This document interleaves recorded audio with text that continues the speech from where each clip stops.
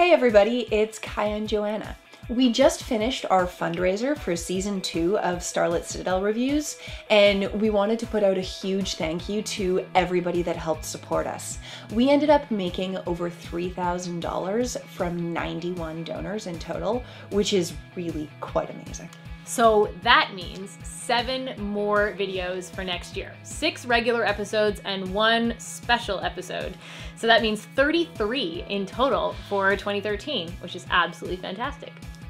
Now, we've already been hearing from some of our supporters about what they want that special episode to be, and we've got some ideas of our own as well. So you can really look forward to that little bit of extra that's going to be coming out next year, as well as all of the perks that are going to be coming to the people that donated.